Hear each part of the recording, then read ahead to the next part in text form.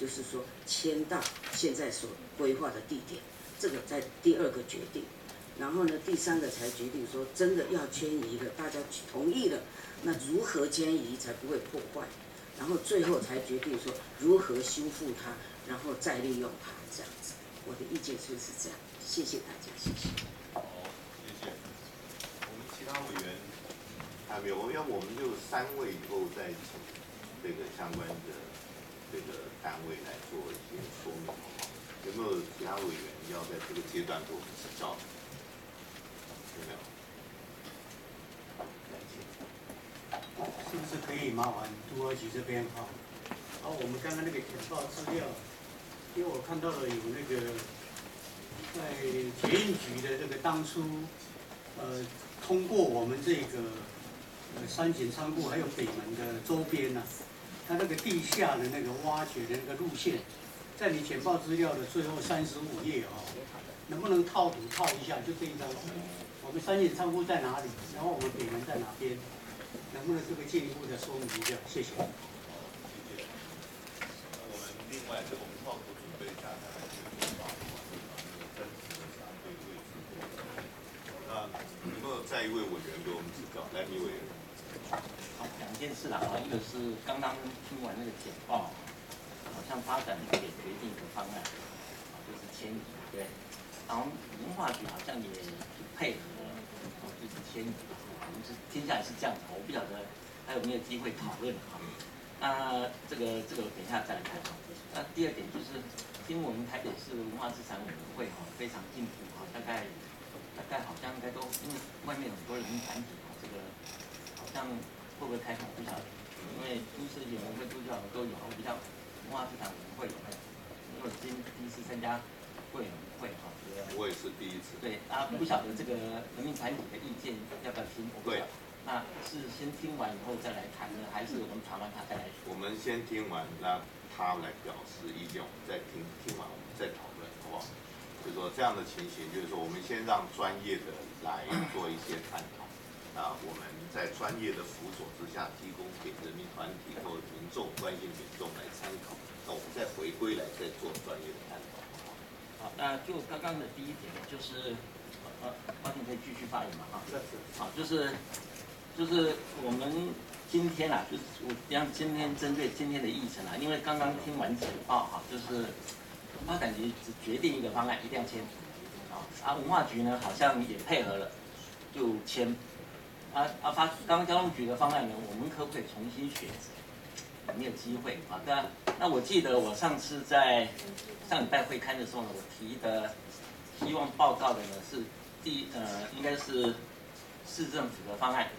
还有一个就是就是就是现在写的方案是，应该还有一个叫方案九了，好这个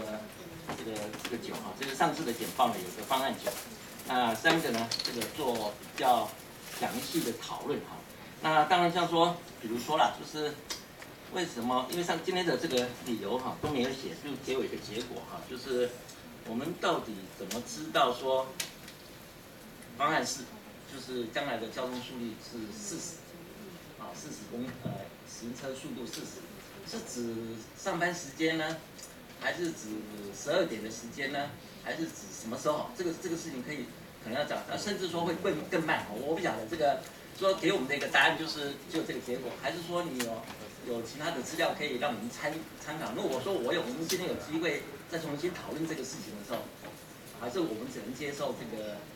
交通局的结论啊，这个事实就是最后的答案。但我不晓得这个事实呢降低。那按照我的经验，我也常常经过这里，但经过早上经过一定变慢，好，那那这样的话，这个事实到底是什么意思？好，这个啊会更慢还是这样？因为上礼拜呢还有说这个这个资料里面呢还有陈述说，呃，因为距离的不足哈，但今天的这个图面哈，我觉得没有很清楚告诉我说我们各种方案啊，就是八个或者九个交通方案呢，对这个当可能对北门会比较好啊，但是对那个那个山景这个事情呢，可能有各种问题啊。那这种各种问题呢，到底是什么问题？是会容易好像我我知道的，好像有一个讲法，就是比较容易撞到啊，大概因为距离太近了啊。那这个事情也没有看到比较告诉我说到底是举例来说，到底是留了两公尺，还是留了一公尺，还是最后只有五十公分啊？因为按照我们现在人行道呢，至少也有一米五或者一米六啊，还是说三啊很多地方的人行道，那这个这样的讲法到底对或不对？我不晓得啊，这个可不可以？上礼拜我有这么要求啊，就希望今天呢能够听到这个比较具体的交，因为我们从头再从交通的这个事情呢来讨论的话。那当我上礼拜把它简化成三个方案，好，那在这上面到底是怎么样？好，这个，然后里面的方案一，当然这个是是一个最理，可能是一个最理想。那方案是，呃，可能没那么理想，但是我在想啊，就是说，所谓不理想的是指的，除了刚刚讲那个交通的原因之外呢，另外就是，就是容易形成孤岛啊，就是北面这个，呃，哎，不是啊，呃，没有，就呃。应该是第九方案啊，这个容易形成孤岛。那那个方案我读了一下啊，但我们可能也有种某种程度的预期啊，就是因为前前后后呢，大概我所了解的呢，大概就是方案九呢，可能是南边有两个啊，然后北边有六个。那那这个考量的状况是什么？背景是什么？不晓得。那我猜测呢，大概大概也可能是预期哈，将来。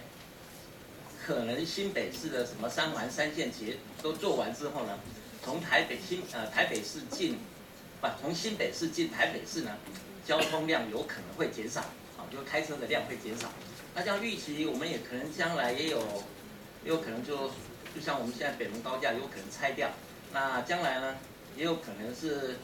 八线道可以减缓成六六线道，啊等等像这样的讲法。啊，至于在还有两线道现在。现在以现在来讲，就是造成北造成山顶孤岛这个事情呢，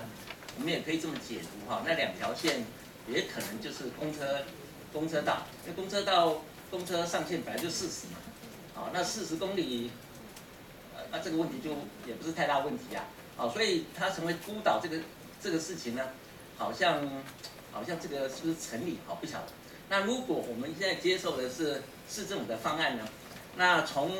北门到三井。那这个是不是也很大的？因为八线道，那八线道怎么过啊？或者是说过那个叫做台呃铁道部的，那八线道这个过也是个问题啊。因为八线道的交通量会比六线道啊更大，或者说我们从北门到三井呢两线道啊啊比较慢的状况，我们传统应该会比较慢。那这样的话，这个利弊得失呢，好像看不太出来啊。这个这是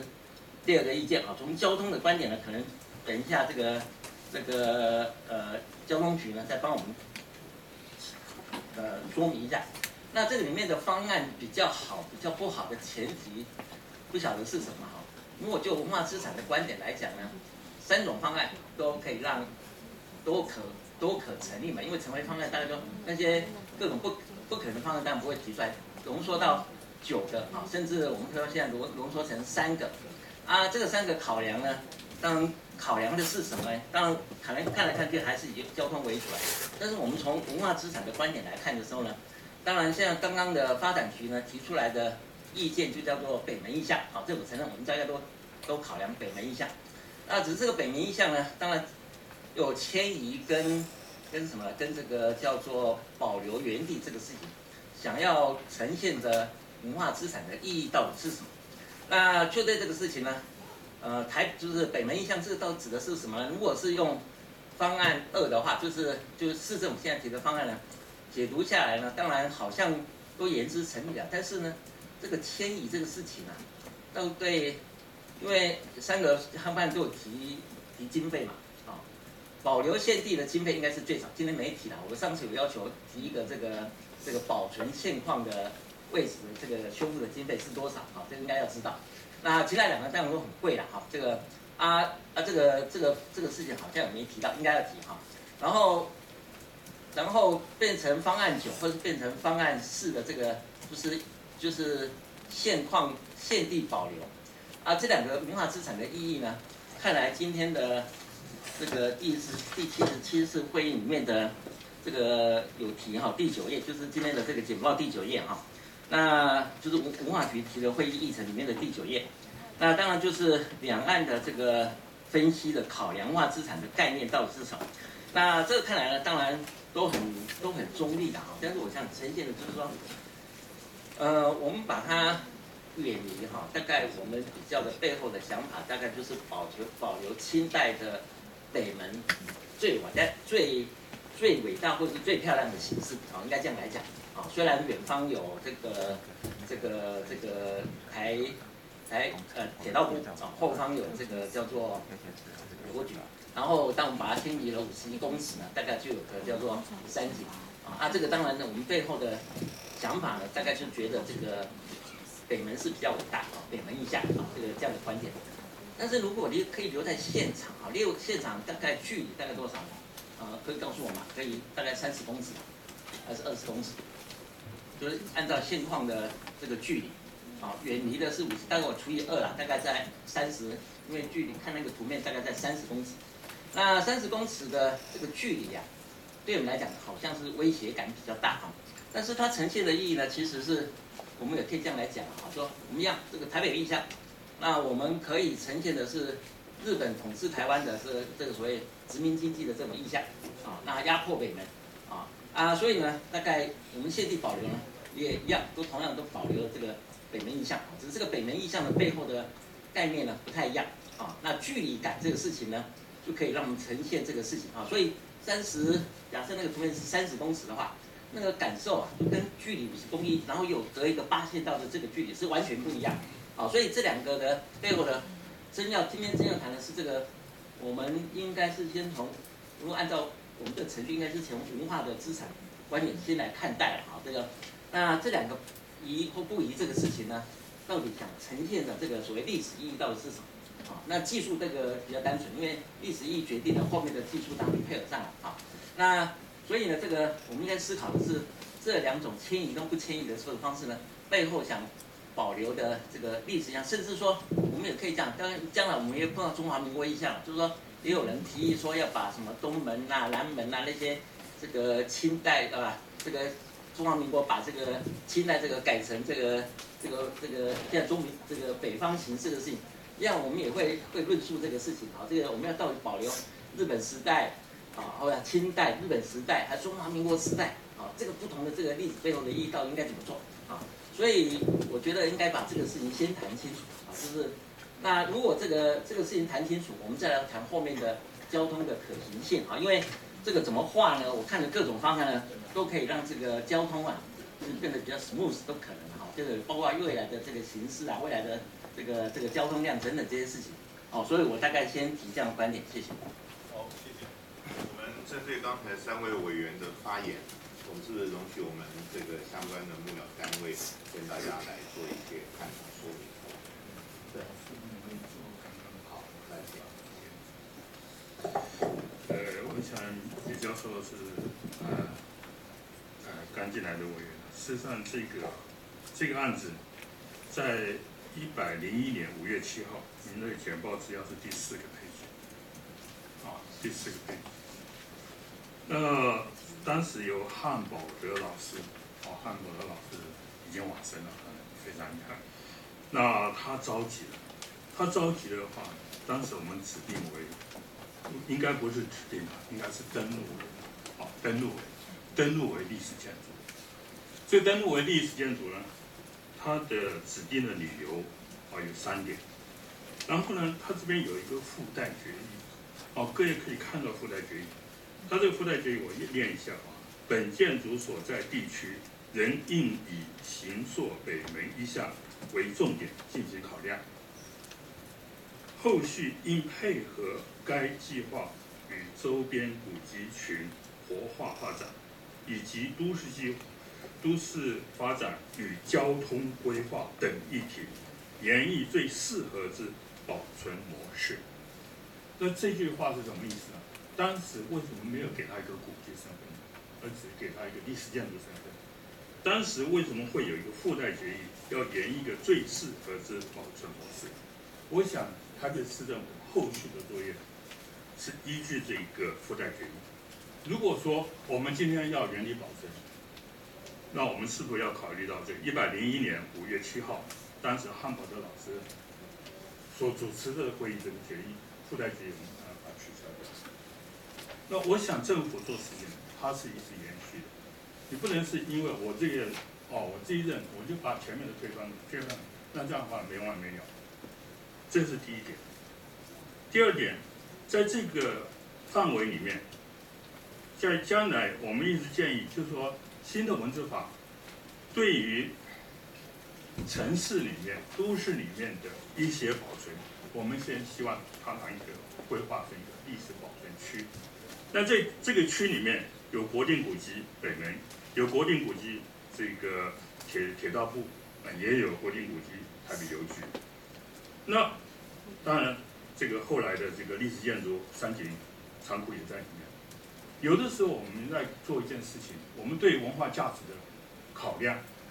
你要去思考我怎么样一个保存模式，对所有的文化价值的东西都能够得到一个适当的一个。那这个方案呢，做的确有困扰。你往北偏一点，会压迫到铁道部；你往南偏一点，会压迫到邮局。你把它中间去的话，那北边就就少了。那当然的话，我们现在这个很多交很多案子的话，会牵扯到三井仓库，所以这个就我我是建议，就是说各位应该要把这个它的我们保存的价值啊，自然的思考，因为在这个联合国对一个世界遗产的保护，它也是首重在文化价值的保存，尤其在两千零五年我们文化保存法修订。在开宗明义的第一条，他谈到一个是保存，一个是再利用。我们也不希望一个古迹保存是一个死的东西，能配合再利用。我们希望能够在不管是任任何像现在这个台北邮局，它用原用的使用，我们没话讲。那最近铁道部也在修，修了以后他要做的铁道博物馆，也也很好，这也不。那将来的北门跟三年。仓库要怎么样活化再利用，这个可能要去思考的问题，不要把它当做一个孤岛或者一个很难接近的地方，或者是跟周边的啊这个再利用有一些冲突，也不太好。所以我想这的确是个难题。我想我我个人的看法就是说，我们不要这一再反复反复再去思考这个问题，而是能够按循序渐进，慢慢慢慢发展出来的。那我想这样的话去思考问题比较恰当。谢谢。我们谢谢周委员，也谢谢前面的三位委员。那我们，那当年那个登录我也没有参加了哈，这个汉堡汉教授主持哈，当然会后呢，当然会进文字审议委会讨论。那当然也是保留一个弹性哈，就说确实没错，我们要考量北门，但没有结论说一定要签，也没有结论说要签，啊，就是要做一个从，所以我一直在从前面就到底我们讨论的时候是。有很多前提嘛，都按照发展局、交通局，还有刚刚文化局都已经下了结论，我们再来讨论，那我们就这个会不需要讨论三小时，这都已经讨论完毕，啊，因为都已经决定。还是说我们要重来，再从这个，就刚刚那个，我从同意，就从刚刚讲那个北门意向这个事情来讨论，啊，我们在文化资产上面的价值这种，我们的交通有没有成配合？做不到，那还是，那但我的看法是，既然都提出来的这个交通啊，一定都有做得到的不满意的状况。啊，都有，每一个都有啊。那我们要怎么讨论说，到底哪个是比较对这个文化资产这个比较有价值呢？好，我想那个结论啊，应该是这个观点。好，我们谢谢这四位委员。我们接下来是请这个相关的单位，那么针对刚才委员提到的，但是我是不是要请文化局先针对刚才黄委员提到的，就是说不管是古迹也好，或者是历史建筑也好。那么，如果牵涉到要拆解的话，是不是要报中央的这个来核定？那这个是不是要先理清一下？那接下来请相关单位再做准备哈，不管是交通，或者是说他思考的这个路径来，那个文化局要不要先？啊，那个刚刚黄委员提到的是文资法的第三十二条，那他有限说，就是只有针对古迹。除了因为国防安全或重国家重大的建设之外，提出计划送中央主管机关，就是文化部审议委员会审议，并由中央主管机关核定者外，不得迁移或拆除。也就是说，它这个是限古迹这个，因为文资法有针对文化资产有不同的类型，那它只是针对古迹这一栋啊，古迹的身份才不得迁移或拆除。这是原则。那例外的话是是要报中央的。那但是历史建筑在法令上是没有强制的规定，但是呢，为求慎重，我们都会把这种案子提到本市的文化资产审议委员会进行讨论。说这样情形，我就做建议啊。第一个，我们今天在最后会议的这个结论里面，要把这一点要从法令的这样的一个观点明确的文字化啊，把它说明。好，我想这样的话，啊，对后续的这些探讨都有些依据。那我跟各位报告，为什么这样做？就是说，一做下去以后，那么今天的这个文化局在列席做说明的时候，未来就有法定的责任。我我讲这是一个负责的表示，好不好？来，接下来是不是请这个要交通局先回复，还是都发局先回复？都发局先回复比较简单。呃，刚刚其实张老张老师在问的是说，三级疑似的地方有没有跟地下，就是地下铁的有没有重复？是没有的。那个如果重新那个附件的第七十页的这部分来看的时候呢，那个我们有把那个那个铁路的那个轨道的这个部分，但基本上。嗯不好意思，这张有有稍微画出来，这是它那个隧道的一个地方。那山景的位置其实刚好是避开，未来部分也都避开这个位置，所以它不会。附近的那个距离多远？就是那个山景山路跟那个现在捷运线那个，以前那个蓝色、那紫色那个是主人站的，是吗？这这个不是通，这是通风井。通风井，通风井的位置是在。通风井的位置是在这个地方，所以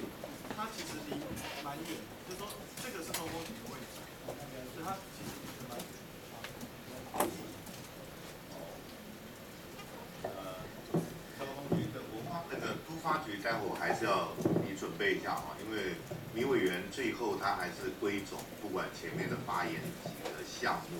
那我听的就是说，我们应该要做一个具体的归总的说明，就是说。你即使是承认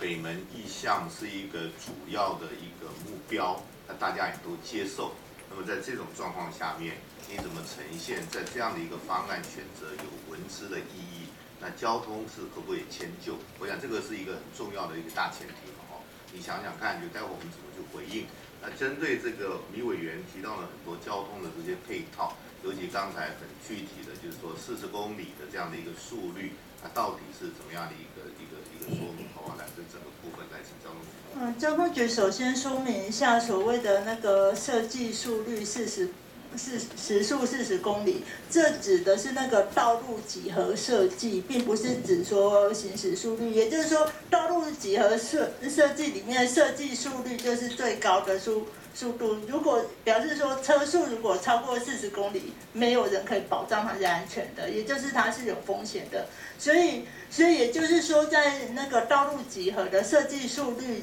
底下，我们最高就是四十公里。所以实际上的速线我们必须定的比它更低。所以这这就是实际上实际上在这个现行考虑的一个问题。而且在在这个嗯刚刚讲到的这个。里面它本身的回转半径还必须搭配整个道路的超高来做设计，而且它在那个设计规范里面，其实有一句就是，如果它是连续的负曲线这种设计方式的话，它中间其实还要再放一段缓和曲线，所以实际上这个路型在配置是非常有安全疑虑的，我们并不建议这样子的路型。然后接下来是。嗯，刚刚那个老师提到的方案二、方案四跟方案九，可是那天那天在现刊当那个当地的文资团体提到的，他们他们可以接受的是方案六，所以我们今天放的是方案六，并不是放方方案九。可是我们有也有准备方案九的资料，待会也是可以做一下说明。然后其实，在方案六的这个。方案六的这个路型的设计，其实考虑的是，在在我们原本的设计是，虽然说可能从北边是有八车道通过，可是其实北门可以很亲近、很轻易的从南边这边人行广场来接近。可是在这个方案里面，其实无论从南从北都是一个不容易亲近的状态，而且呢，主要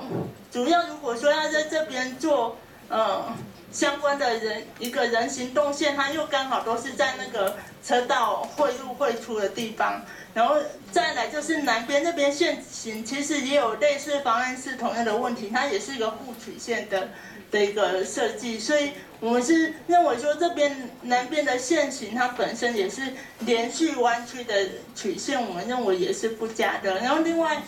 就是可以提供一下那个方案九，就。刚刚提到的这个方方案九的一个情况，其实它是把山景变成一个孤岛的一个方式，而且在这个设计里面，本身从西往东方向，它只剩下三个车道。其实我们在这个地方，呃，不断的在做流量调查，一最新去年做的一个流量调查，其实这边还是都是有四车道的需求，而且，嗯。嗯，应该是现况就有四车道的需求，然后其实我们一直努力的在减量，可是未来在在未来永久路行，给我方案二，在未来的永久永久路行的情况下，其实我们整个把这个区域的动线简化了，也就是说我们从博爱这边过来的量，其实它现在是可以南北通的。未来南北不通，其实有一些量是必须走到这里来的。然后北平这边的东西向，未来也只能往上走的情况下，所以有一些量也是会从提早从东往西方向加进来。所以其实我们在以同样四车道，现况四车道，未来其实如果在车流量不减，它要负担更大的量，所以我们以这这四车道来做运作，实际上已经必须再做一次减量的动作，这已经是我们下一阶段要要面临的一个交通的一个挑战。所以其实从引道拆除到下一阶段的路行，我们持续都在做减量。可是其实以台北车站这边周边大众运输服务密度这么高的情况下，它的车流量事实上都还是。这么高的情况下，其实未来可以再减的空间其实还是有限，毕竟毕竟它是整个台北市的主要干道。如果还有补充，我们再请这个教授李老师来证。那接下来是不是还是再回到杜发局，要不要补充说明一下？就刚才还是讲的，就是说在整体的这样的一个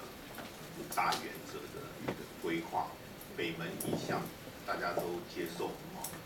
那它会是一个依规，那跟一百零一年的这个结论，它也是一个方向上的遵循。我我我其实还是，我可能表达的不是很清楚。其实，在一百零一年的决议，我们其实认知其实跟薛启薛老师刚刚其实是一直是一样。你说，其实应该我们要彰显的是北门的这呃这北门广场这件事，所以包括我们整个在呃市府花了很多的钱。六天的时间把引道拆除，其实某种程度它其实是要彰显北门的意向是在这个地方。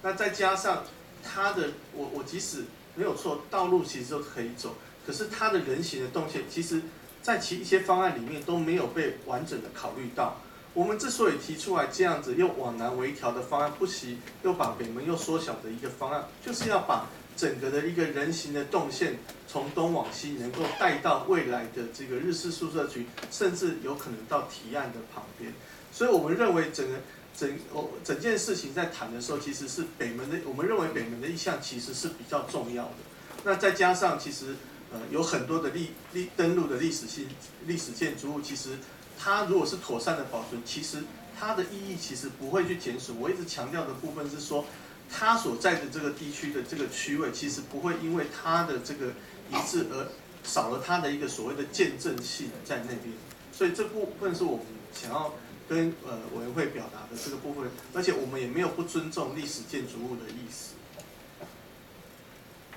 好，我想我们就先答复到这个地方。那么刚才这个薛委员给我们回忆的这个一百零一年当时的一些。审议的过程，我们也非常感谢。那这个部分就是说，大家也一直都在追问哈。我还是建议我们这个文化局，就是说，在今天的重点记录里面，第二项、第一项除了刚才讲的拆除的这些法定的依据、中央核定的这些必要性等等，把它记清楚。那第二点就是说，尽量能够请教，尤其我们这个李乾朗委员，那么我听说他在上一次审查的时候，他就是当时的这个这个主任委员是吧？主席哦，那这样的话，我想就是说，我们可以尽量追溯，那么当当时的这个原始，那能够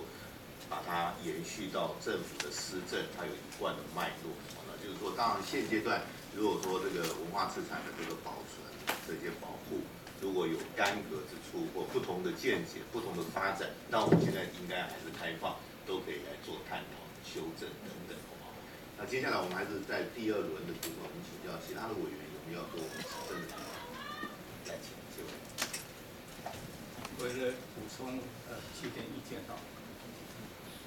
那个我很敬佩刚刚前面几位委员他们的对于这些。一些看法的一个贡献啊，我就我所了解大概是这样子，因为台北台北府这个建建成刚刚在两千零四年的时候，刚好是举行了叫做一百二十周年陈庆，那么因为陈庆呢，所以我们那个时候那个。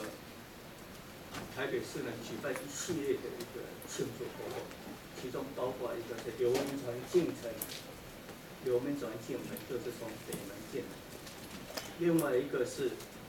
这个金面妈祖妈祖呃进城，因为金面妈祖它本来的这个天后宫呢是在我们现在的新公园啊新公园那里，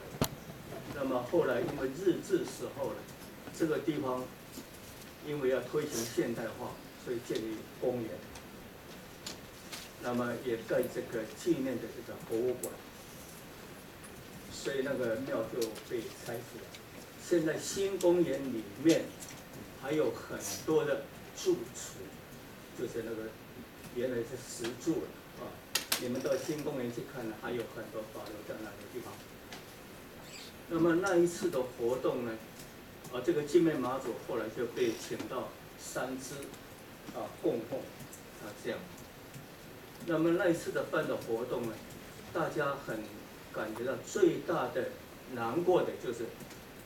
当刘明传模仿进城的时候，那个前面那个北城门的桥啊，啊那个那个高架桥挡住了，那个广场没有。所以大家就非常有共同的一个意识，所以那个时候廖贤啊就是很希望大家不是要讲啊，就是文化局的那个时候的看法，就希望如果这里有一个广场，来重现这个门户的意象。我们刚刚讲的那个广场，其实呢，将来那个模里还有一个接官亭，每一个大的城门都有个接官亭，所以将来。你们那个附建啊，那个广场的时候，应该有把把那个模拟。而其实这个广场呢，它也是一个虚拟的啊，很多人。但是有一个也有这个实际的功能，就是说从南边呢能够可及，这个是最大的一个。所以重现呢这个，因为台北府这个城呢，可以讲说整个中华民国啊，就是中国历史上啊，可能算是。最后一座，就是按照就是风水理论，按照玄学，按照玄学理论，因为北京呢，它是按照先天，过去呢，这个先天的八卦易经里面，对先天八卦是天南地北，我们这个不一样，它是有一点类似后天的八卦，它的城门正门是在北门，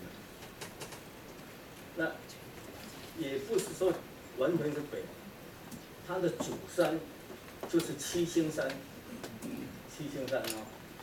所以在举办一百二十周年庆的时候，曾经也举办过七星山的礼赞，这个可能知道的人比较不多。那个时候体育局的人呢，还非常很不高兴，为什么由文化局来发动这个作为这个？这个这个这个所谓七星山的礼赞活动呢，为什么不是由我们体育呃这个提处来办？后来跟他们讲了，这是为了配合诚信的关系，所以它是有一系列。但我们的到这个后来一百三十周年的时候，诚信就没有这些活动哈。不过继续迎妈祖还是有这些活动，所以这个城墙就是说，它有很多的这个，因为在我们这个中华民族的这个历史当中啊，全世界。古文明当中啊，啊，像希腊，它阿里士多他就发展了所谓形式逻辑。后来在文化复兴，复兴这个这个以后，就变成这个实证哲学、实证科学就跟这个哲学分开了，所以才有他们今天这个科技，还有这个今天的这个科技。但是中国它是发展玄学，因为它的这个。不一样，就是，也就是说，对于向天类比，这个在全世界是中只有中华民族才有。所以每次建都城啊，都要向天，所以三言，台北市也有隐隐约约有这样的一个意思，所以向这个向天类类比啊向天类比，这个是一个玄学上的一个一个用易经上的一个用。两千零四年，非常有趣的，呃，就是两岸发生的这些事情，在台北呢，就是产生了所谓建建成一百二十周年庆，所有一些重新再唤起一个历史上的一个意识，因为新公园呢，就二八公园，在陈水扁市长的时候，他变改变为这叫二八公园。它也是为了要凸显一个悲情城市的一个历史啊一个记忆啊。那么，马英九要把要要恢复这个办这个诚信呢，他也想连接到清朝的这个意识，这个历史，啊，他都有他的这个用意啊。后面这个咱们这个高层决策都是高来高去的，都有他的后面的一个潜在哲学思想在做指导。那么，我们这个台北市呢，在这个，在大陆呢，二零零四年呢，也有一件事情，这个是大家谈论最多的，就是那个杨振宁啊。杨振宁他八十二岁，但是，但是诺贝尔奖物理奖，八十二岁取代一个二十八岁，这个是成为美谈了哈。但另外一个就，他公然呢。他非常爱国，可是他公然反对《易经》的这个所谓这个刚刚讲是说向天内向这个比类的地方，他认为说《易经》这个呢不符合形式逻辑。可是形式逻辑是一个思这个思维的另外一种，形象逻辑是中华很特别的另外一种。后来呢，总是算有很多争论，很多讨论。但是台湾被唤起，这个就开始了。所以我们这个有助于后来我们推到就是双子星的建设的时候，就很重视这个北门对七星山的一个视觉轴线。为什么很多案子都要处在这个地方？就是说，这个你要唤起北门台北城的一个很重要的一个意识。意思，所以那个很希望，就是说彰显这个门户的意象呢，一个是历史上的一个记忆的意思所以我想刚刚呃有有有委员讲是说，因为文字法但特别法，你怎么把这个为了要修改这个路型而把这个古迹来配合迁移？啊，这个思维当然是形式逻辑上的思维，但其实。它这个路型的改变也是为了配合北城门的啊。如果是从这个更更深远的渊源来看的话，那么应该，所以那个时候汉堡罗先生在定这个登录为历史建筑物的时候，他为什么要把它登录为立建？就是保留一个弹性，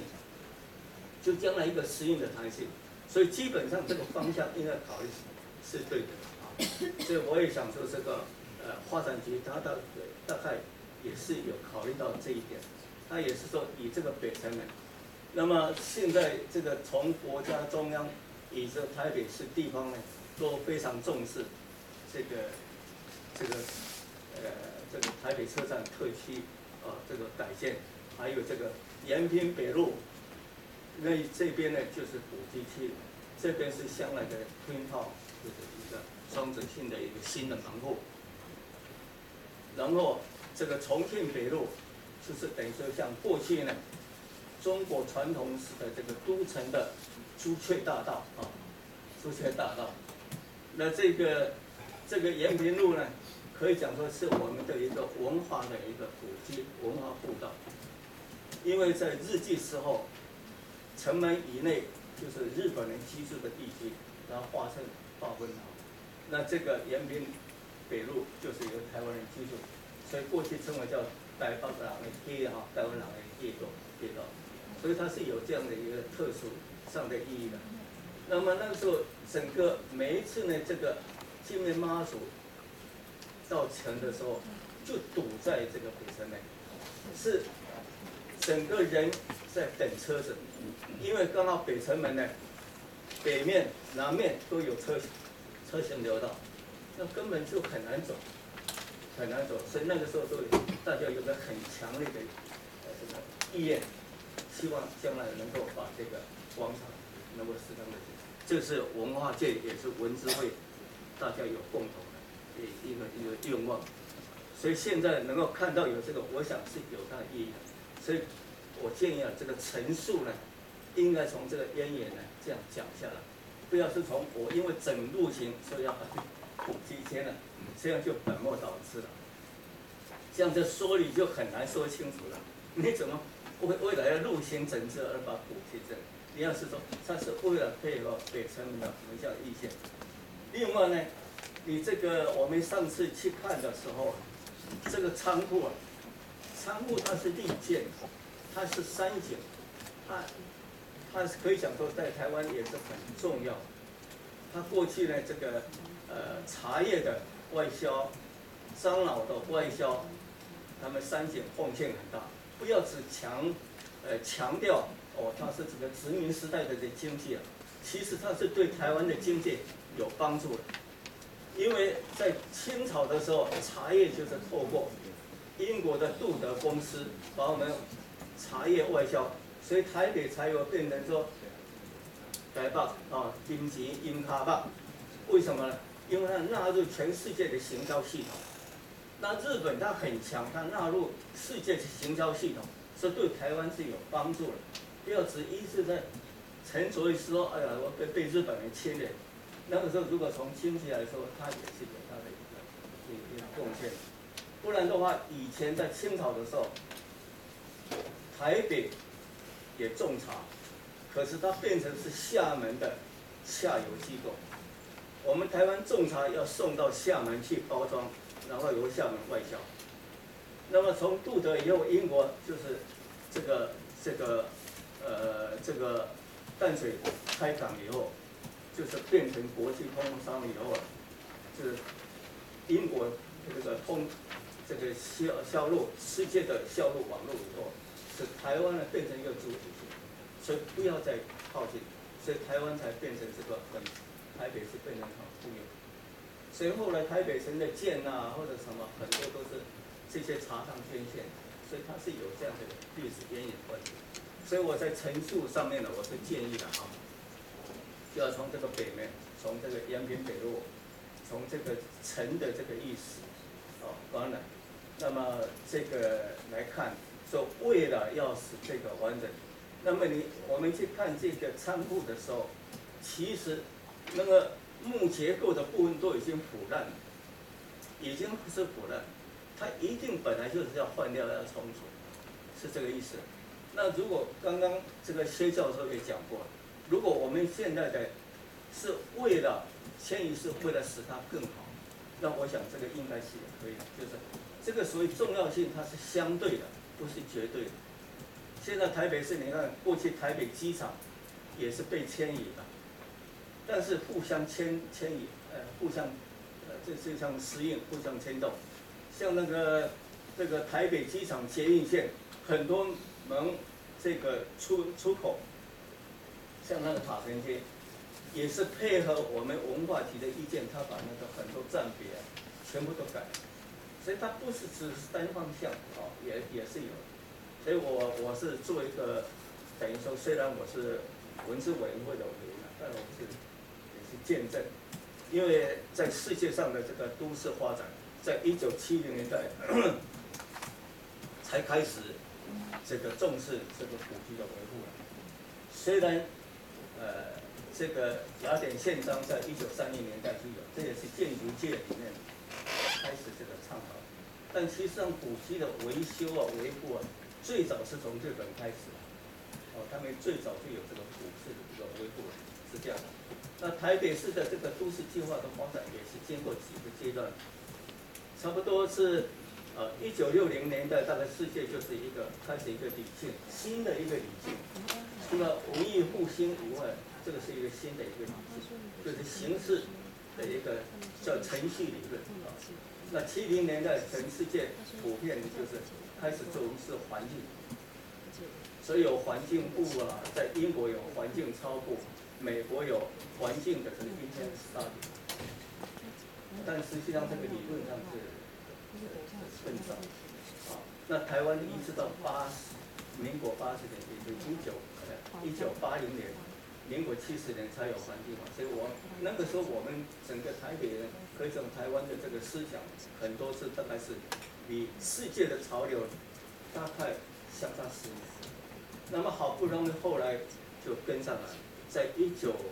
哦一九九零年代，差不多我们台湾就跟上了。那也是说差不多在林清龙先生副市长当台北市的这个都市设计科的科长的时候，那个时候台北市开始有有所谓成长管理的这个所谓 smart growth 了，那个是跟世界就发生接接轨。结果，呃，另外就是社区理论，呃，在这九零年代，那么另外就是所谓新都市主义、新区域主义啊，开始，呃，台湾就谈的很多，而且有的地方比外国来谈的更更细更好，所以我们台湾进步也很快。那现在二十一世纪呢，你要开始就是气候变迁的问题，我们台湾也有很多努力在做。我们都市计划也在一直在努力啊，在努力，开始有些讨论到所以温室效应的问题等等。所以，我们台北市的都市计划也没有说像过去那么保守、那么死板，所以他们也是等于说也是保留的相当弹性啊，各地方呃和大家互相协调、互相合作。我想这一点呢，应该是可以作为见证的。谢谢。谢谢，谢谢委员，来请张委员。主席、各位委员、各位同仁，大家好。那因为，呃，我等一下四点要回学校上课，我觉得今天这个议题很重要，所以我特别把课从两点调到四点。那我觉得今天讨论的这个案子其实很重要，真的很难得。呃，都市发展的议题啊，其实主题是以再现历史地区风貌为核心的焦点，在谈一个都市发展。那我想这个部分也配合最近几年联合国推所谓的历史性都市景观这件事情的一个概念。那针对这一个议案哈，大概呃有三点建议啊。那有关那个迁移的部分，我想也要尊重各位委员的的意见哈。那第一点哈，我觉得这个案子嗯，就我所知哈，我觉得比较可惜的就是，呃，我们讨论路行的时候哈，今天所谓的永久路行。事实上还是基于二零一六年的交通的的状况在处理这个永久路行。那对我而言，这个绝对不可以是永久路行。那主要的原因是因为呃，在第十八页简报的第十八页里面啊，其实有提到嗯第二段的这个部分啊，其实有提到啊这个这个部分，说这个。这个国家门户啊，事实上除了重现台北历史地景风貌之外，其实有一个焦点叫做人本交通环境。如果是以人本交通环境为主体，我觉得就不是发现到在讨论这件事情。那主要的原因是因为这个永久路行，事实上在第六十一页，第六十一页，六十一页的这张图可以看到哈，事实上这个所谓的目前的永久路行，瓮城事实上有一半还压在马路下面，所以我对我而言，我觉得，呃，应该会有一个，我觉得时下比较流行的叫二零五零路行，那个路行基本上是以人为主，而不是以八线道的交通为主。那我觉得这个部分其实没有看到，呃，我觉得阶段性的一个讨论。那到二零五零年的时候，也许这个地方全部都没有交通可以通过，而是以人为本的这个交通路线啊，这是我第一点意见啊。那第二点啊，呃，我觉得在谈保存的时候啊，事实上，呃，我觉得我们的目标事实上还是现地保存。所以刚刚那个都发局的简报啊，那个那个建华这边的简报哈，我我必须还是要讲一下哈。事实上。呃，离开了五十一公尺，虽然不远，但是事实上对于三井仓库的价值还是有减损。它不是没有减损，那我觉得两个层次哈，其实很明显的就减损到了。第一个是基地的地理资讯，其实不见了。它离开了五十一公尺，事实上地理资讯不见了啊。那个呃，我们做建筑设计，事实上基础设计其实是个很重要的。那理解。基础的地址这件事情很重要。好，那我我举例，刚刚新委员其实有提到那个台北工厂的迁移。好，那因为不同的地质的环境啊，事实上基础的设计其实不太一样。在台北工厂的例子里面，那个呃地下水比较低的，它就没有打桩；地下水比较高的，它就打桩。好，那这个部分其实就是基地的地理资讯。我觉得这个部分其实很明显，其实就就有损失。那当然，我们三井仓库，呃，基本上房子不大，所以它的那个基础的讨论，事实上，呃，我想议题比较简单。那另外一个，我觉得有影响的就是历史情境，啊，我想以后拿着老照片对这个地方，事实上一定对不到三井仓库。所以，呃，我我第一件事情，我觉得，我我我先说明，就是其实有减损，而且确实有减损。那我个人的意见就是，事实上就保存而言，现地保存。一定是最高原则，那这个部分其实完全是尊重这个呃这个呃历史建筑或古迹的一个保存的一个态度哈。那它不只是原则，也是态度所以呃，我觉得这个案子基本上都市发展本身哈，刚刚米委员其实有提到，然后我个人意见其实认同，就是事实上都市发展其实必须完全尊重文化保存这个部分，我我觉得其实各方面其实都是如此。但是反过头反过头来讲，那个如果文化资产的保存，透过别的领域，比如说都市发展，而能够让这个房子得到更多的照顾、更多的资源、更多的讨论，我觉得就文化资产保存发展而言，其实是好事。就如同今天三井，我觉得已经引发很多很多的议题。这件事情其实对文化发展而言，其实很好。那我相信它也会有更多的资源被投入到这一栋不大的一个房子上。那这件事情我觉得其实还蛮重要的。那呃现阶段啊，如果我们从今天的角度来看，呃八线道的这个路型啊，其实已经没办法没办法改变。因为就刚刚那几个方案，其实看起来其实对呃三井而言，其实他好像势必不得不离开。但是我觉得基于现地保存的。原则跟态度，我觉得，我觉得应该要，呃，帮他考虑一个，在未来永久路行，二零五零年永久路行可能的状态之下，我们要把所有的准备工作做好。那二零五零年的时候，其实三井搞不好有机会可以回来，他的原地。那这。